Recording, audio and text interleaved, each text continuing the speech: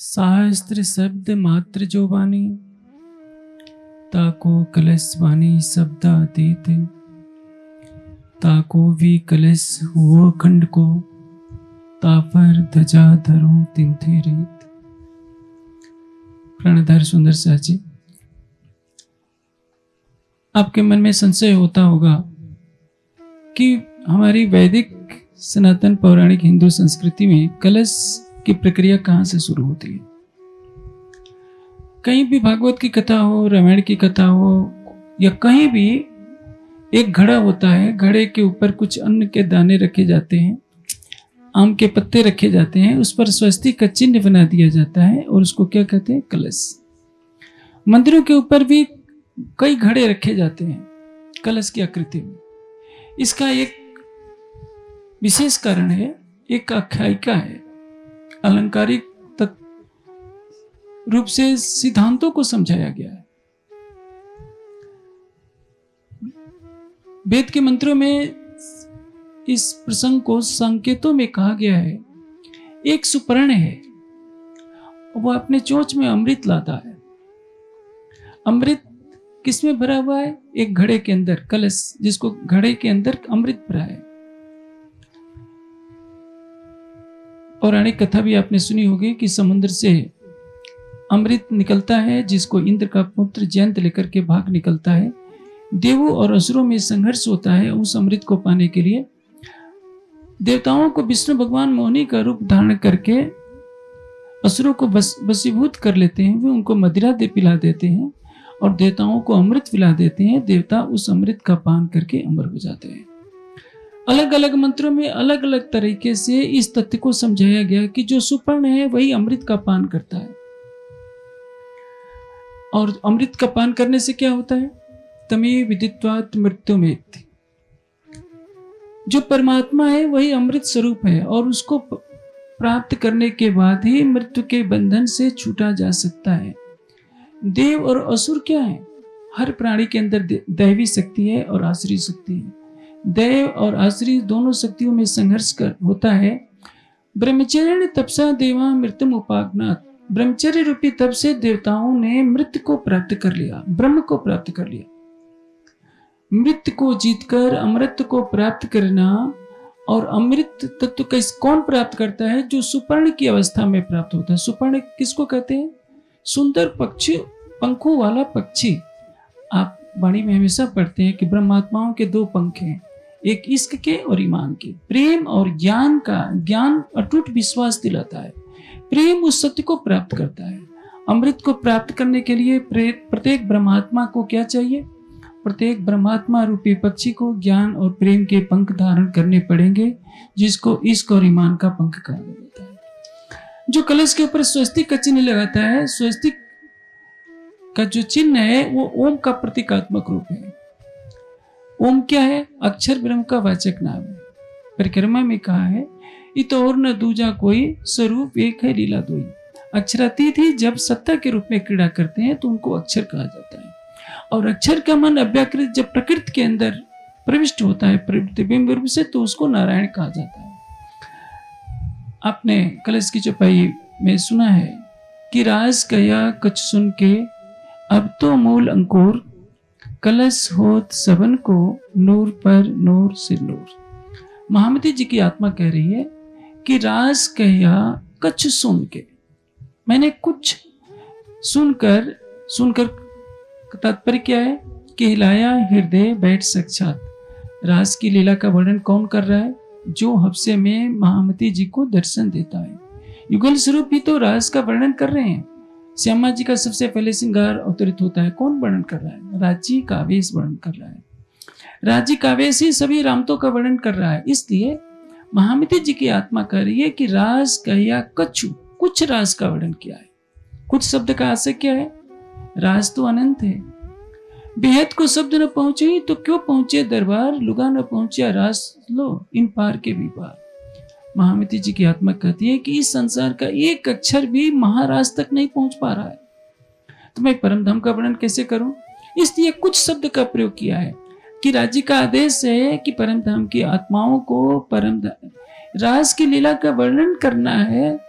तो यहाँ की भाषा में, यहाँ के दृष्टांतों से, रामतो के माध्यम से मैंने स्वलीला अद्वैत प्रेम की झलक को दर्शाया है। इसलिए कहते हैं कि राज कया कुछ सुन के। ऐसा नहीं कि देवचंद जी के मुख से सुन करके चौपाइया बना दी, तब तो वो दासवाणी हो जाएगी। राज को कहने वाला कौन है? स्वयं अक्षराधीन। और महाराज की लीला अनंत प्रेम में ही, अनंत आनंद में ही। उसका कुछ अंश मात्र ही सैतालीस प्रकरणों में राज ग्रंथ के 900 शायद 16 या कुछ नौ सौ तेरह के आसपास चौपाइयाँ होगी, उतनी चौपाइयों में राज ग्रंथ को दिशा मात्र रूप में वर्णन है। सुखदेव जी कहने का प्रयास करते हैं, लेकिन भाग्य जोश कही पंचताई, रास वर्णन न हुआ तिंता महामती जी की आत्मा कह रही है कि मुनि जी, रो क्यों रहे हो? क्योंकि तुम तुम्हारे तन से तो केवल साक्षी दिला दी गई, अन्यथा इस महाराज का वर्णन करने की सामर्थ्य ईश्वरी सृष्टि में नहीं है। वो तो ब्रह्मात्माओं की राज है। उसका वर्णन कौन कर सकता है? किसी ब्रह्मात्मा के तन से स्वयं राज्य का अवेश स्वरूप ही कर सकता है। रास कया कुछ सुन के, अब तो मूल अंकुर। रास में किसका वर्णन किया गया है? हद से परे बेहद की शब्दातीत तिला का वर्णन किया गया है। बेहद से परे कौन है? अक्षर और अक्षरातीत का स्वरूप है। दोनों का स्वरूप कहाँ विराजमान है? परम धाम में। हद के परे बेहद है, बेहद पर अक्षर अक्षर पर वतन है, जागिए इनकर रास गया कुछ सुन के, अब तो मूल अंकुर। मेरी मेरा मूल अंकुर जागृत हो गया मेरा मूल अंकुर कहाँ है? मूल मिलावे में। मैं अक्षरातीत के चरणों की सानिध्यता में बैठकर अपने परात्म को देख रही हूँ। मैं जानती हूँ कि मेरी परात्म मूल मिलावे में राज्य के चरणों में बैठकर इस माया के खेल को देख रही है। खिलवत की पहली चुपाई कहाँ से शुरू होती है? ऐसा खेल दिखाइया जो मांग लिया है। हम अब कैसे मैं अर्ज़ करूँ, कहो कि मांगे तो मैं उस परात्म को देख रही हूँ, जो मूल मिलावे में राज्य के सम्मुख बैठी है। न बोल सकती है, न हंस सकती है, न रो सकती है, न अपनी बातें कर सकती है, अपने सामने बैठी हुए परमेश्वर को भी देखने में असमर्थ है। लेकिन राज्य आपने इस माया के संसार में परमधाम की जो वाणी दी है, इस वाणी से आपके स्वरूप में अपनी सुरता से डूबकर मैं अपनी परात्म के तन को देख रही हूँ, सब सुंदर साथ के तनों को देख रही हूँ। इसको कहते हैं अब तो मूल अंकुर। रास कया कुछ सुन के अब तो मूल अंकुर। अब मेरे अंदर परम धाम की परात्म का भी भाव जागृत हो गया है। मैं परात्म की पहचान कर ली कलश होत सबन को नूर पर नूर, सिर नूर। नूर पर नूर सिर नूर का तात्पर्य क्या है? एक नूर है जो राज के रूप में अवतरित हुआ है। ये नूर आगे थे, आया अक्षर ठौर के पार, ये सब ज़ाहिर कर चलिया, आया निज दरबार। तीन नूर है। नूर पर नूर, सिर नूर। ये नूर, इस तारतम वाणी का प्रकाश भी नूर है, बेहद का ज्ञान भी नूर है, और अक्षर की पहचान का ज्ञान भी नूर है। वैसे तो इस चौपाई के अलग अलग विद्वान अलग तरीके से व्याख्या करते हैं। लेकिन अंतरात्मा से पूछिए तो वाणी क्या कह रही है? जो कलश का जो सिद्धांत है, वही परिक्रमा ग्रंथ में वही सिद्धांत लागू होगा। शास्त्र शब्द मात्र जो वाणी, ताको कलश वाणी शब्द आती मैं इसको समझा देता हूँ, पुनः वो चौपाई भी स्पष्ट रूप से हो जाएगी। शास्त्र शब्द मात्र जो बानी शास्त्रों में जो शब्द है, वो क्या है? केवल ज्ञान रूप है। शास्त्र शब्द मात्र जो वाणी। शास्त्रों की जो वाणी है, जितने ग्रंथ है, वो क्या है? शब्द मात्र है। परमात्मा क्या है? शब्दों से परे है। इस माया के संसार में शब्दों के माध्यम से ही कहा जाता है। जैसे राज्य कैसे हैं? तो शब्दों में तो हम बताने का प्रयास करेंगे। क्योंकि करोड़ों सूर्यों से ज़्यादा प्रकाशमान, करोड़ों चंद्रमा से ज़्यादा शीतल, करोड़ों फूल की कोमलता से भी अधिक कोमल। हम एक समझाने का प्रयास कर रहे हैं। वास्तव में राज्य की शोभा के लिए न तो दूध की श्वेतता सक्षम है बताने में, न फूल की सुगंधी बताने में सक्षम है, न चंद्रमा की शीतलता, न सूर्य का तेज, क्योंकि ये सभी जड़ पदार्थ हैं। इसलिए महामती जी ने कहा अर्श का वर्णन किया, ले मसाला ईद का मैं यहाँ के शब्दों से मैं दृष्टांत दे रहा हूँ। शास्त्र, शब्द मात्र जो वाणी, शास्त्रों की वाणी क्या है? शब्द मात्र है। केवल कहकर संतोष दिलाने के लिए, क्योंकि इसके बिना संसार में काम नहीं चलता। ताको कलश बानी शब्दातीत। उसके ऊपर मुकुट के रूप में ये शब्दातीत वेद की वाणी है। पाँचों पांडव सगे भ्राता हैं। लेकिन युधिष्ठिर जब सिंहासन पर बैठते हैं तो राजा का मुकुट विशेष प्रकार से सुसज्जित किया जाता है। अर्जुन भी मुकुट पहनते हैं, भीम भी मुकुट पहनते हैं, नकुल सहदेव भी मुकुट पहनते हैं। लेकिन युधिष्ठिर चूँकि सिंहासन पर विराजमान होना है, इसलिए उनका मुकुट विशेष रूप से सजाया जाता है। राजा की पहचान कैसे होती है? पाँचों भाई जा रहे हैं। पहचान कैसे करेंगे? उसके मुकुट से करेंगे कि जो राजा होगा, उसका मुकुट कुछ विशेष होगा। भले ही सगे भाई हो तो क्या? ऐसे ही एक बार हिटलर से सुभाष चंद्र बोस मिले। हिटलर ने अपने जैसे कई क्लोन तैयार कर रखे थे, अपनी उसकी सकल सूरत जैसे। सुभाष चंद्र बोस की परीक्षा ले रहा था हिटलर कि देखे, सुभाष चंद्र बोस मुझे पहचानते हैं कि नहीं? लेकिन सुभाष चंद्र बोस के सामने कई हिटलर जैसी आकृति वाले आए, लेकिन सुभाष चंद्र बोस ने अपनी प्रतिभा से पहचान लिया कि वास्तविक हिटलर कौन है। उसी तरह से, से मुकुट बताता है कि राजा कौन है। मंदिर के ऊपर जो कलश बताता है कि ये मंदिर है कलश नहीं होता है तो क्या होता है? पता नहीं चलता कि हाँ मंदिर की गरिमा क्या है। शास्त्र शब्द मात्र शब्दातीत। शब्दातीत वाणी क्या है? बेहद की वाणी संसार के सारे ग्रंथ कहाँ तक का वर्णन करते हैं? निराकार तक का वर्णन करते हैं। चौथे तब को वका का कोई बोलिया ना एक हरफ। आप चारों वेदों के विद्वान से अब बात कीजिए, कल मैंने चर्चा में बोला था। चाहे कोई चारों वेदों को पढ़ ले, छह दर्शनों को पढ़ ले, अंत तो गत्व क्या कहता है? आदि नारायण जो अक्षर के मन का प्रतिभाषिक स्वरूप है, उसी को परमात्मा मान लेती है दुनिया। और जो इस सृष्टि के कण कण में, प्रकृति के सूक्ष्म स्वरूपों में जिसकी सत्ता व्यापक हो रही है, उसी आदि नारायण को दुनिया मान लेती है कि यही परमात्मा है। कैवल्य की प्राप्ति भी जो संसार के बड़े से बड़े योगी जन करते हैं, वो आदि नारायण की ही अवस्था है। आदि नारायण स्वयं के स्वरूप को नहीं जानते, निराकार से परे की बात नहीं जानते। उनके तन से वेद का उतरण होता है, लेकिन वो भी नहीं जानते कि त्रिपाद उर्दुदैत पुरुषा का रहस्य क्या है। वे भी नहीं जानते कि आदित्य वर्ण तमसा प्रस्ताद क्या है। लेकिन तारतम ज्ञान का प्रकाश आ गया तो उन, इन्हीं धन ग्रंथों से, जिन जानो शास्त्रों में नहीं, है शास्त्रों में सब कुछ, पर जीव सृष्टि को पावी जाके अकल तुच्छ। जागृत बुद्धि का जो प्रकाश होता है हृदय में तो इन्हीं ग्रंथों की साक्षियों से सत्य की पहचान हो जाती है। निगमे गम कही ब्रह्म की, सुख क्यों समझे ख्वाबी दम? सो एक करो सब जाए, रूह अल्लाह के दम। श्यामा जी के तारतम ज्ञान से, वास्तविक सत्य की पहचान होती है। शिष्ट के प्रारंभ से चारों वेदों का अवतरण प्रकट हुआ और इन्हीं चारों वेदों की व्याख्या में चार उपवेद, छह अंग, छह उपांग, ग्यारह सौ सत्ताईस शाखाओं की रचना हुई। लेकिन कोई भी सचतानंद पर ब्रह्म के स्वलीला अद्वैत स्वरूप की व्याख्या नहीं कर पाया था। अब तारतम वाणी का प्रकाश आया तो हम क्या कहते हैं? हद पार बेहद है बेहद पार अक्षर अक्षर पार वतन है जागिए ये संपूर्ण सृष्टि उस निराकार में लय को प्राप्त हो जाती है, उसके परे क्या है, कोई नहीं जानता था। तो परिणाम क्या होता है? ताको कलश बानी शब्दातीत।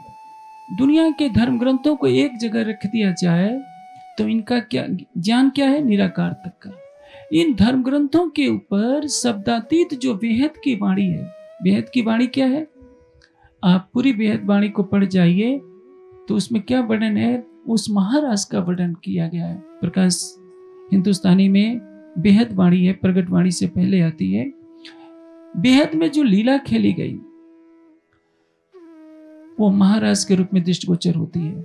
अभी आपने सुना, राज कया कच सुन के, अब तो मूल अंकुर। जो राज की वाणी है, वह बेहद की वाणी है। और संसार के सभी धर्म ग्रंथों के ज्ञान के ऊपर कलश के रूप में, मुकुट के रूप में किसकी शोभा है? बेहद बाड़ी अर्थात महाराज का वर्णन। ताको भी कलश हो अखंड को, ताफर धजा धरो तीन थे रहित। हद का के ऊपर शोभा के रूप में कौन विराजमान होगा? बेहद। और बेहद के ऊपर शोभा के रूप में, मुकुट के रूप में किसकी शोभा है? परम धाम के, ज्ञान की शोभा है। तीन ब्रह्मांड हैं। हद के ब्रह्मांड का शासन की लीला कौन कर रहा है? आदि नारायण बेहद में किसकी लीला होती है? अक्षर की। परम धाम में लीला किसकी होती है? अक्षरातीत की। परिक्रमा ग्रंथ में पहले लिख दिया गया है, श्री परिक्रमा किताब इलाही दुल्हीन। इस परिक्रमा ग्रंथ को इलाही दुल्हीन कहा गया, अखंड दुल्हीन। अखंड दुल्हीन क्या है? अक्षरातीत के हृदय से जो प्रेम और आनंद का रस प्रवाहित होता है वही परम धाम के पच्चीस पक्षों के रूप में दृष्टिगोचर होता है। वही रस श्यामा जी और सखियों के रूप में दृष्टिगोचर होता है। प्रेम और आनंद का सागर जब अपनी लहरों के साथ क्रीड़ा करता है तो जो शोभा होती है, उसको कहते हैं परिक्रमा ग्रंथ। अष्टपहर में परम धाम की आत्माएँ अपने प्राणेश्वर के साथ जिस प्रेममयी, आनंदमय लीला का रसपान करती हैं, उसमें डूबी रहती है, उसका वर्णन जिस परिक्रमा ग्रंथ में कहा गया है, इसलिए इसको कहते हैं इलाही दुल्हन अखंड के सुहागिन। अब प्रीतम अक्षरातीत क्या कह रहे हैं? ताको भी कलश हो अखंड को। संसार के सारे ग्रंथों का ज्ञान कहाँ तक ले जा रहा है? तारतम ज्ञान के अभाव में निराकार तक उसके ऊपर जो मुकुट के रूप में शोभा किसकी है? बेहद वाणी, जिसको राज की वाणी कहता है, कहा गया है। जिसको महामती जी ने कहा है कि राज का या कुछ सुन के, अब तो मूल अंकुर। मैंने अब राज की वाणी को कहा है। महामती जी के धाम विद्या में बैठकर राज़ी राज की वाणी को कह रहे हैं तो अब कलश में चौपाई उतरी, उतर रही है कि राज कया कुछ सुन के, अब तो मूल अंकुर, मेरी परात भी जागृत हो गई। कलश होत सबन को नूर पर नूर, सिर नूर। तीन नूर हैं। एक नूर बेहद का नूर। दूसरा नूर जिस अक्षर के बारे में कोई जान नहीं सका था। हक तरफ़ जाने नूर अक्षर और दूजा न जाने को पर बातून शुद्ध तिनको नहीं हक किलम दिखावे सो। देखिए, बीतक में एक प्रसंग आता है। बाल मुकुंद जी देवचंद जी को दर्शन देते हैं और कहते हैं कि देखो, हरिदास जी, जिनसे तुम सेवा करवा रहे हो, ये देवचंद जी देवचंद्र नहीं है। इनके अंदर तो राधा जी हैं, जिनके प्रियतम की कृपा से मैं अखंड हुआ हूँ, इसलिए इनसे मैं सेवा नहीं करवा सकता। तुम इनको इनके प्रियतम के बागे विस्तर दे देना, मेरी मूर्ति नहीं देना अब भाव क्या है?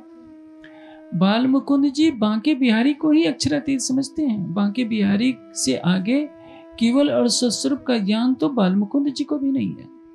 अक्षर की पंचवासनाएँ भी नहीं जानती हैं कि केवल और सत्स्वरूप से परे क्या है? इसलिए वेद में लिखा है कि यह जितना जगत है, इसके भी परे ब्रह्म अपने स्वरूप से व्यापक हो रहा है। जो पहला मंत्र पुरुष सुक्त का होता है, सहस्त्र शीर्षा, पुरुषा, सहस्त्र अक्षर सहस्त्रपात वो इसी संदर्भ में है। आगे कहा जाता है कि इस ब्रह्मांड से परे जो चतुष्पाद विभूति है, अक्षर की चतुष्पाद विभूति है, जिसको वेद में कहा गया है। चतुष्पाद भूतवा भोग्य सर्वम अदत्त भोजनम। पुनः वेद क्या कहते हैं? कि त्रिपाद दूर पुरुष यह जो सत्स्वरूप केवल सबलिक है, इस स्वरूप के परे पर ब्रह्म का स्वरूप है। देखिए, वेद तो मैंने नहीं कहे। वेद किसके तन से प्रकट हुए? चार ऋषियों के अंदर, आदि नारायण से। लेकिन आदि नारायण को स्वयं पता नहीं है कि चतुष्पाद विभूति का अर्थ क्या है। त्रिपाद उर्दुदैत पुरुष का अर्थ क्या है, ये कौन जानता है?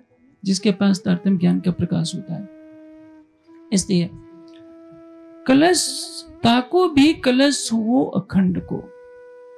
रास, बेहद की वाणी, अक्षर की पंचवासनाएँ भी मूल अक्षर को नहीं जानती। कुछ जानते हैं कि सबलिक अक्षर है और केवल अक्षरातीत है। क्योंकि केवल ब्रह्म में अक्षरातीत के परम धाम के करोड़वें अंश का प्रतिबिंब पड़ता है। आप पुराण संहिता वर्णन पढ़िए। पुराण संहिता में इस तो प्रेम संवाद तो परम धाम का है। लेकिन जब शोभा का वर्णन होता है तो आप देखिए, वो सारा वर्णन जो है केवल ब्रह्म की भूमिका का वर्णन हो जाता है। पुराण संहिता हो, महेश्वर तंत्र है उसमें कुछ वर्णन परम धाम का है। मूल मिलावे का वर्णन है, लेकिन हौज कोसर का भी वर्णन है। मध्यम सरह के रूप में पुखराज का भी वर्णन है, माणिक पहाड़ का भी वर्णन है, लेकिन परम धाम में एकत्व का रस है और पुराण संहिता में जो वर्णन है, प्रेम की दस भूमिकाओं का वर्णन है। उसमें वियोग रस भी है, परम धाम में भी प्रलम्ब रस, वियोग रस नहीं है। इसका असर क्या है? सारा वर्णन खिचड़ी हो गया है। राज्य की कृपा से वर्णन करने वाले ने तो प्रयास बहुत किया। शंकर जी वर्णन करने का प्रयास कर रहे हैं, लेकिन शंकर जी भी खिचड़ी कर दे रहे हैं, क्योंकि उनके हृदय में ज्ञान तो अवतरित हुआ है। लेकिन राज्य के आवेश के बिना परम धाम का वर्णन कैसे हो सकता है? आप देखिए, जेते पैगंबर भय पाई जबराइल से बुज़ुर्ग की। जिसको आप जोश कहते हैं, कतीब की भाषा में जिसको जिब्रील कहते हैं संत साहित्य में उसको नित्य अनाज सदगुरु मानते हैं, कबीर जी को मानने वाले। और उन्हीं का प्रकाश जब आता है, चाहे कबीर जी कहें, चाहे सुखदेव जी कहें, चाहे शंकर जी कहें, चाहे योगेश्वर श्री कृष्ण गीता का वर्णन करें, निराकार से परे का ज्ञान बिना जिब्रील के, बिना परब्रह्म के, जो उसके कोई एक शब्द भी नहीं कर सकता। लेकिन जिब्रील परम धाम के बारे में कुछ नहीं जानता। असराफिल को मालूम है, लेकिन असराफिल भी परम धाम की लीला और राज्य श्यामा जी के श्रृंगार को नहीं जानते। तो सत्स्वरूप में जिब्रील और असराफिल दोनों का निवास है। सत्स्वरूप का तो ज्ञान है, इतना मानते हैं कि इसके परे जो परम धाम है, उसमें अक्षर अक्षरातीत का स्वरूप है, लेकिन कैसा है? दोनों को आदेश नहीं है कुछ भी कहने का, और जबरील ने तो देखा भी नहीं। असरा फिल फिर अर्स अजीम की माँ जबराइल जबरूद के हद छोड़ सकिया न आप सोचिए, जब जबरील को सत्सर्व से परे का ज्ञान नहीं मिल पाया। तो नारायण के द्वारा कैसे पता चल सकता है कि त्रिपाद उदयत पुरुषा कार्य से क्या होता है? इसलिए भले ही किसी ने चारों वेदों को कंठस्थ किया हो शिष्ट के प्राणों से लेकर लेकिन त्रिपाद और द्विदैत पुरुषा का अर्थ कोई नहीं कर पाया था। अपने बुद्धि बल से सब लोग इसको अलंकारिक वर्णन मान मान करके चुप हो, होते रहे हैं। और आगे क्या कहा है? कि कलश हो सबन को नूर पर नूर नूर। जो नूर पहला नूर है, रास वर्णन, रास बेहद की लीला। उसके परे कौन है? नूर पर नूर कौन है? अक्षर। और अक्षर के परे कौन है? अक्षरातीत। उसी को कहा है कि महामती जी की आत्मा ने परम धाम के इस वर्णन में, ताको भी कलश हो अखंड को। शास्त्र शब्द मात्र जो बानी, ताको कलश बानी शब्दातीत ताको भी कलश हो अखंड को ताफर ध्वजा धरू तीन थे रही कलश के ऊपर कलश कौन है? नूर के ऊपर नूर, पर नूर कौन है? दुनिया के धर्म ग्रंथों का नूर का जो ज्ञान का प्रकाश है, उसके ऊपर मुकुट के रूप में रखा है। बेहद की वाणी का ज्ञान कलश के रूप में, और उस कलश के ऊपर एक दूसरा कलश रखा है। दोनों कलशों में क्या है? ज्ञान रूपी अमृत है। इस सत्य को संकेतों में कहा गया है कि सुपर्ण कलश से अमृत का रस स्वादन करता है, अमृत को प्राप्त करता है। वैसे वेद के विद्वानों ने सुपर्ण शब्द की व्याख्या में बहुत समय लगाया है। वेद में कहा गया है कि सुपर्ण वैसी गरुतमान दिवम गच्छ स्वपत। हे आत्मा, तू सुपर्ण है। तू ज्ञान और प्रेम के पंखों से उड़ने वाला सुंदर पक्षी है। तू इस प्रकृति मंडल को पार कर दिवम गच्छ स्वपत दुलोक को तू जा और उस आनंदमय धाम को प्राप्त कर। लेकिन बिना तारतम के इसका रहस्य कोई कैसे समझेगा? बस काम चलाऊं, अर्थ होता रहा, संसार इसी में भटकता रहा। अब महामती जी के द्वारा ये कहा जा रहा है कि यह जो कलश के रूप में परिक्रमा कलश के ऊपर, कलश के रूप में ये परिक्रमा ग्रंथ है परम धाम की लीला का वर्णन। आज तक कोई, चाहे जबरील हो असराफील हो, कोई भी पच्चीस पक्षों में भ्रमण नहीं कर पाया था। और तो और अक्षर ब्रह्म भी चांदनी चौक से लौट आते रहे हैं। अक्षरातीत का सतंग यदि मूल मिलावे में या परम धाम के सभी पक्षों में भ्रमण नहीं कर सका तो सृष्टि का स्वप्नमयी बुद्धि से जीवन जीने वाला प्राणी भला कैसे जान सकता है? आदि नारायण तो निराकार से परे नहीं जा सकते। अक्षर की पंचवसनाएँ चतुष्पाद विभूति से परे कुछ जान नहीं सकते। और राज्य के बारे में केवल अक्षर को पता है, वो भी पूरा श्रृंगार नहीं पता है। तो इस संसार से आप कैसे आ सक, कर सकते हैं कि यह संसार अक्षर अक्षरातीत के बारे में कुछ जानेगा? इसलिए महामती जी की आत्मा कह रही है तापर धजा धरो तिन थे रहित कलश के ऊपर भी ज्ञान की जो ध्वजा, ब्रह्म ज्ञान की ध्वजा में जो फहरा रही हूँ, वो भी शब्दातीत ध्वजा है। उस ध्वजा किसकी प्रतीक है? गरिमा की प्रतीक है। ऐसी गरिमा जो शब्दातीत हो। तापर ध्वजा धरो तीन थे रही। तीन थे रहित का तात्पर्य क्या है? शब्दों से परे। जो ध्वजा भी लगाई है, वह भी शब्दातीत है। अर्थात जो परम धाम के ज्ञान की महिमा है उस ज्ञान के लिए जो ध्वजा बता रही है कि ये शब्दातीत ध्वजा है, शब्दातीत इसकी महिमा है, क्योंकि इस प्रकरण से, प्रकरण में आगे कह दिया सुपन बुद्ध पे कुंठ लो या निरंजन निराकार, सो क्यों सुन को लंग के सखी मेरी ले बेपार स्वप्न की बुद्धि आप जानते हैं, आजकल की युवा पीढ़ी काफ़ी कुछ तेज दिमाग रखती है, कंप्यूटर चलाने में, मोबाइल चलाने में लेकिन वह भी अपनी बुद्धि का आठ प्रतिशत से ज़्यादा उपयोग करने की सामर्थ्य नहीं रखती। केवल आदि नारायण है जो सौ प्रतिशत बुद्धि का उपयोग कर सकते हैं। आपके मस्तिष्क में इतने कोष हैं कि सभी कोष जागृत हो जाएँ तो दुनिया की सारी किताबों को आप कंठस्थ कर लेंगे, लेकिन इतना करने के बाद भी आप निराकार से परे की वास्तविकता नहीं जान सकते। तो आप सोचिए, निराकार के परे बेहद है, बेहद का स्वरूप क्या है? आपके अंदर एक छोटी सी चेतना है। जानते हैं, कितनी भी दौड़ लगाई है, मनुष्य की सारी यूनिवर्सिटियों का ज्ञान इकट्ठा कर लेगा तो कहाँ तक पहुंचेगा? हिंग्स बोसोन तक पहुंचेगा। इलेक्ट्रॉनो, प्रोटोनो, न्यूट्रॉनो, हिंग्स बोसोन तक जाएगा, उसके बाद चुप्पी लगा जाएगा। पूछा जाएगा कि मन का स्वरूप बताओ, नहीं बता सकता है। जीव का स्वरूप बताओ, लेकिन जीव का स्वरूप तो है, पूरा शरीर चैतन्य रहता है।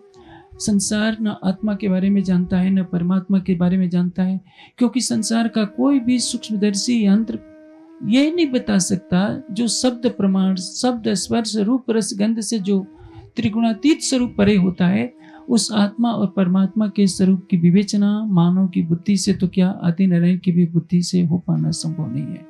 इसलिए जो ये तारतम वाणी है, बेहद वाणी के ऊपर परम धाम की ये तारतम वाणी जिसमें खिलवत, परिक्रमा, सागर श्रृंगार का ज्ञान है, जिसको तारतम का तारतम कहते हैं और इसकी गरिमा की जो ध्वजा है, यह भी शब्दातीत है। अब हमें सोचना होगा कि हमें कौन सी संपदा मिली है। इस चौपाई से आगे की चौपाई में कह दिया है, मगज बेद कतेब के, बांधे होते जो बतन आद करके अवलो सखी कबहू न खोले आज तक किसी ने खोला नहीं था। वेदों में संकेत दिया जाता था कि अमृत कलश अमृत कलश के अंदर रखा हुआ है। सुपर्ण उड़ करके उसको प्राप्त कर सकता है। अमृत का कलश कहाँ मिलेगा? सुपर्ण कौन होगा? तारतम ज्ञान के बिना शब्दों की व्याख्या से वास्तविक रहस्य समझ नहीं पाता। इसलिए मंदिर पर तो हम कलश चढ़ाते हैं, लेकिन जानते हैं, मंदिरों की शोभा किससे होती है? ज्ञान से होती है, प्रेम से होती है। आज हमारे समाज में 400 मंदिर हैं। 400 मंदिरों में? 400 विद्वान तो क्या 40 भी अच्छे विद्वान नहीं है? और 40 तो क्या कहूँ? हमारे पास उच्च स्तर के विश्व के मंच पर बोलने वाले चार भी विद्वान तैयार नहीं हो पाए करोड़ों के मंदिर बन रहे हैं, भविष्य में भी बन सकते हैं। लेकिन मंदिर की शोभा तभी होगी जब ज्ञान चर्चा हो। सुंदर शाह से मैं एक विशेष आग्रह करूँगा। देखिए ये माया का संसार है। संसार में कोई कहीं भी रहेगा, श्री जी के साथ पाँच हज़ार की जमात थी। और पाँच हज़ार की जमात में कई ऐसे सुंदर साथ थे जो श्री जी के भी अवगुण देखा करते थे। इसलिए चौपाई अवतरित हुई हुई है, कई अवगुण लेवे धनी का, करे आप भी अवगुण। तो यदि आप सोचते हैं कि संसार में कोई भी पूर्ण होगा, जिसके में अंदर कोई कमी ना हो तो कभी भी संभव नहीं है। चार सौ हमारे मंदिर हैं, हमारे समाज के हैं, चाहे पड़ामी कहिए, चाहे निजानंदी कहिए। आरती पूजा तो हो जाती है, ज्ञान का प्रचार नहीं होता। जबकि नियम होना चाहिए, हर मंदिर में एक पुस्तकालय हो। हर मंदिर में आधा घंटा कम से कम चर्चा हो। और सबसे बड़ी बात तो यह है कि मासिक गोष्ठी हर मंदिर में होनी चाहिए। साप्ताहिक गोष्ठी का प्रोग्राम होना चाहिए, ज्ञानपीठ की तरफ़ से। प्रत्येक रविवार को ईमेल गोष्ठी का आयोजन किया गया है। उसके बारे में अशोक जी आपको सूचना दे देंगे कि उसके सदस्य कैसे बनाया जाता है। उसमें भी 500 सदस्य होने चाहिए। 250 पौने तीन सौ अधिक से अधिक संख्या आती है।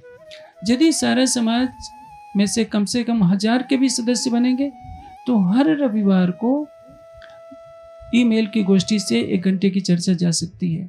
जितने ज्ञान केंद्र हैं, मैं चाहूँगा सब सुंदर साथ हर ज्ञान केंद्र पर गोष्ठियाँ करें, वाणी चर्चा का अधिक से अधिक फैलाव करें। इस संबंध में एक बात मैं कहना चाहूँगा। दाहोद के अंदर जितने मंदिर हैं, जैसे उमरिया है, मंडोर है, और भी जो जो मैं सबका नाम नहीं जानता, खरड़ी में भी आपका मंदिर है, आपका ज्ञान केंद्र है। कुछ पिछले कुछ सालों से विवाद के कारण सुंदर साथ में कड़वाहट रही, सबने जाना बंद कर दिया है। मैं सबसे विनम्र आग्रह करूँगा कि प्राणनाथ ज्ञान केंद्र जाना प्रारंभ करें। वो वहाँ जो कुछ भविष्य में होगा, प्राणनाथ ज्ञानपीठ सरसावा के निर्देश में ही होगा। आपस में सुंदर साथ लड़ता है तो क्या होगा? परसों की चर्चा में मैंने कहा था जो जो प्रीत होता है साथ में त्यों तो मोही को होते सुख। जो जो विरोध करते हैं साथ में, अंतवाई को है दुख। यदि आप किसी का अवगुण देख ले रहेंगे कि उन्होंने ऐसा कहा, उन्होंने ऐसा किया कहा तो आपकी आत्मा को क्या मिलेगा? इसलिए पुराने मतभेदों को मिटाकर सब नए सिरे से एक नया जीवन प्रारंभ करें। हर चाहे उमरिया हो, चाहे खरड़ी हो, मंडोर हो, जितने ज्ञान केंद्र हैं। हमारे ज्ञानपीठ के कई विद्वान हैं दाहोद में हैं सूर्य प्रताप हैं, विजय जी हैं, अर्जुन जी हैं, राम सिंह भाई हैं। कोई ना कोई आपको उपलब्ध रहेगा। हर ज्ञान केंद्र से गोष्ठी यदि आप नहीं फैलाएँगे तो क्या होगा? ज्ञान केंद्र सुने पड़े रहेंगे। और सबसे बड़ी बात जो मैं कहना चाहूँगा कि आपस में आपको प्रेम अपने हृदय में लाना ज़रूरी है, क्योंकि महामती जी कह रहे हैं जो जो प्रीत होत है साथ में त्यों तो मोही को होत है सुख। प्राणनाथ जी का हृदय तभी प्रसन्नचित होगा जब आप सुंदर साथ प्रेम करेंगे। इसलिए पुरानी सारी बातों को डस्टबिन में डाल दीजिए, किसने क्या कहा, क्या नहीं कहा। और मेरे आग्रह पर खरड़ी में सभी सुंदर साथ जाना प्रारंभ करेंगे। ये मैं विश्वास दिलाता हूँ कि खरड़ी में अब जो कुछ होगा ज्ञानपीठ के निर्देश पर ही होगा। वहाँ की समिति ज़रूर रहेगी, लेकिन वही होगा जो ज्ञानपीठ का निर्देश होगा। और उन्होंने, कल ट्रस्ट के सदस्यों ने मुझसे वचन दिया है कि जो भी ज्ञानपीठ का निर्देश होगा हम मानेंगे। समस्या ये है कि सब सुंदर साथ को एकजुट रहने की आवश्यकता है। और दूसरा मैं निवेदन आपसे करूँगा, तीन सौ वर्षों में कभी बालिकाओं की शिक्षा के लिए कोई व्यवस्था हमारे समाज में नहीं की गई। आप जानते हैं, आर्य समाज में एक से एक कई विदुषी बहनें हैं जो चारों वेदों का ज्ञान रखती हैं। चारों वेद उन्होंने कंठस्थ किए हैं। प्रवाही समाज में जाइए। आज मैं नाम लेकर क्या कहूँ? शंकराचार्य को भी एक वेद भी कंठस्थ नहीं है। एक वेद क्या तो? आधा भी वेद कंठस्थ नहीं है। हजारवीं मंत्र आज के शंकराचार्यों को कंठस्थ नहीं है। नाम लेना अच्छा नहीं होता, लेकिन उनका बौद्धिक स्तर क्या है? गीता, उपनिषद और वेदांत से आगे कोई नहीं गया। लेकिन आचार्य हैं चार चार वेदों का ज्ञान रखती हैं। लेकिन हमारे समाज ने बहनों को क्या कह दिया? देखो तुम, सड़क पर सवारी निकल रही है, केवल नाचो राज्य को रिझाओ। कभी शिक्षा की व्यवस्था नहीं की गई। और यदि बच्चियाँ विदुषी बनेगी तो आपकी वाणी फैलेगी। अब प्राणनाथ कन्या गुरुकुल का निर्माण प्रारंभ हो चुका है। आप घरों में जो बर्तन धोने आती है, इधर का तो हमें नहीं पता। उत्तर भारत में बर्तन धोने वाली अलग होती है, कपड़े धोने वाली अलग होती है, पोछा लगाने वाली अलग होती है। वे सुंदर सा दो दो हज़ार दे देते हैं, छह हज़ार महीने दे देंगे। लेकिन राज्य के नाम पर कोई एक हज़ार रुपया देने को मासिक तैयार नहीं होता। आप जानते हैं? एक हज़ार सुंदर साथ यदि अपनी मासिक आय से ऐसे तो दाहोद में वेतन भोगी काफ़ी सुंदर साथ है। एक हज़ार सुंदर साथ हर महीने केवल एक एक हज़ार दे तो हर महीने दस लाख रुपए इकट्ठे हो जाएगा। और गुरुकुल को बनने में डेढ़ साल लगेंगे। डेढ़ साल का मतलब एक करोड़ पचास लाख रुपए की राशि एकत्रित हो सकती है। जब आप रेस्टोरेंट में जाते हैं तो एक हज़ार, दो हज़ार तो खा लेते हैं। लेकिन राज्य के नाम पर एक हज़ार यदि महीने में नहीं निकाल सकते तो मैं नहीं मानता कि आपके दिल में कुछ प्रेम है। अभी शादी विवाह का सीज़न चल रहा है। हर कोई अपनी नाक ऊँची करने के लिए खूब पानी की तरफ़ पैसा बहाएगा क्यों? दिखावे के लिए पानी में पैसा क्यों बहाते हैं? अच्छे अच्छे व्यंजन बनाते हैं उससे कोई लाभ से धर्मशास्त्रों की भी आवाज़ गूंजेगी तारतम वाणी को तो बोलेगी तब आप, आपका समाज गौरवान्वित होगा। आज यदि कोई प्रवाही विदुषी आकर के चुनौती दे दे तो हमारे समाज में कौन है? लेकिन आर्य समाज के पास एक दो नहीं, पाँच हज़ार आचार्य हैं, जिसमें अनेकों हैं, जिन्होंने चारों वेदों को कंठस्थ किया है, व्याकरण को कंठस्थ किया दर्शन शास्त्रों को कंठस्थ किया है। हमारे समाज में तो हालत यह है, एक बार, कई साल पहले, एक जगह कार्यक्रम लगा था, भोरकुंडिया के गोदरा ज़िले में। उसमें रश्मिकांत जी भी थे सूर्यनारायण जी भी थे घर घर हम लोग गए। कईयों को तारतम की छह चौपाई तो क्या एक चौपाई भी याद नहीं थी। जो समाज अपने दीक्षा मंत्र को याद नहीं कर सकता, उस समाज का भविष्य क्या होगा? इसलिए सुंदर सुंदर मंदिरों से केवल जागने नहीं होगी। होड़ लगी है, कोई पाँच करोड़ का, कोई दस करोड़ का, कोई कितने करोड़ का, कोई पाँच सौ करोड़ का मंदिर बन रहा है। मंदिर तो बने रहेंगे, सोने के थंबों से सोमनाथ मंदिर बना था। लेकिन वहाँ कोई भी विद्वान नहीं था। इसलिए अब जितने भी हमारे मंदिर हैं, सब में गोष्ठियों की महत्ता बढ़नी चाहिए और सब सुंदर साथ यथा संभव है, प्रयास करें। हज़ार सुंदर साथ का एक समूह बन जाए जो हर महीने एक एक हज़ार दे, जो ज़्यादा सामर्थ्यवान है, दो दे सकते हैं, तीन दे सकते हैं। किसी के घर के बजट में कोई कमी नहीं आएगी, जिसकी पचास हज़ार की आमदनी आती हो या पच्चीस हज़ार की पेंशन आती हो तो एक हज़ार राज्य के लिए निकालेगा तो कोई कमी नहीं होगी। लेकिन उससे जो गुरुकुल का निर्माण होगा, जब तक ये धरती रहेगी, मैं समझता हूँ हज़ारों विदुषी बच्चियाँ निकलेंगी, जो अक्षरातीत की वाणी की गर्जना करेगी और वही वाणी सारी संसार का कल्याण करेगी। इसलिए मैं आशा करूँगा कि दाऊद का सुंदर साथ मेरे निवेदन को स्वीकार करेगा और वाणी के प्रचार में जी तोड़ से लगेगा और गुरुकुल के लिए भी यथासंभव सहयोग करेगा। अधिक जानकारी हेतु हमारी वेबसाइट www.spjin.org पर आएँ और हमारे YouTube चैनल को सब्सक्राइब करें। धन्यवाद।